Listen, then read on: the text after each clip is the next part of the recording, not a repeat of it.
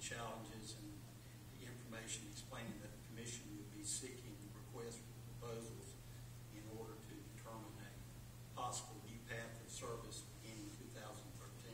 Also, an email address was provided, and citizens were encouraged to send that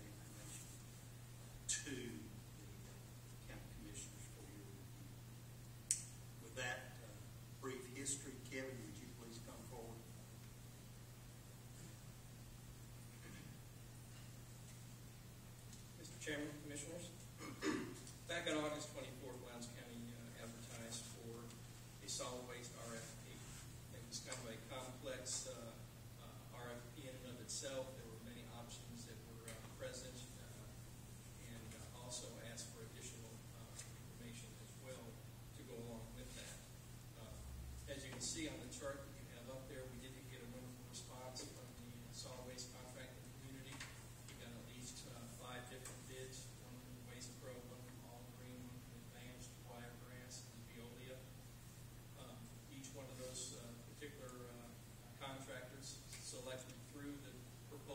themselves.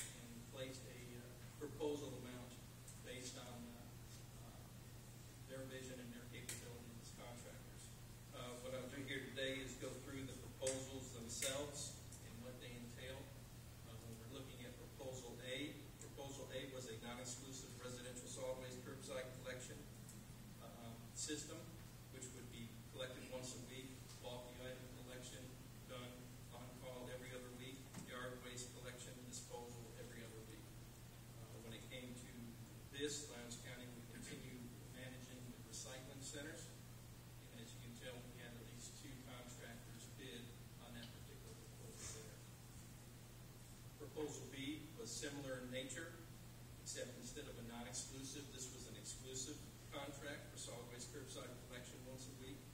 Uh, same parameters for bulky items and yard waste. It's going to also uh, set up for Lowndes County to manage, continue managing recycling centers. And the recycling centers are these two, A and B, we're talking about just for the collection of recycling only, all of the services see we got a greater response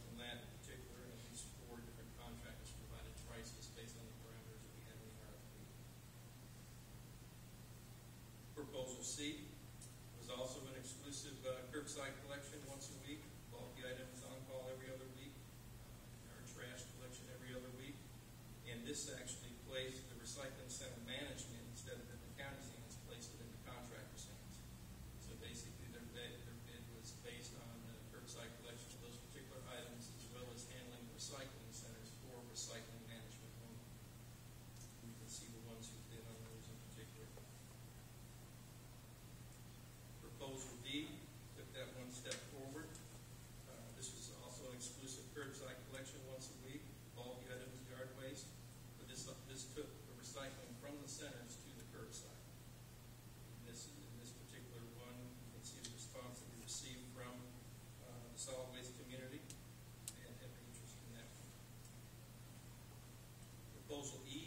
exclusive collection center management for the collection and disposal of solid waste, recycling, bulk items, and yard trash. It's basically we'll be taking over the management of our collection centers based on the parameters we set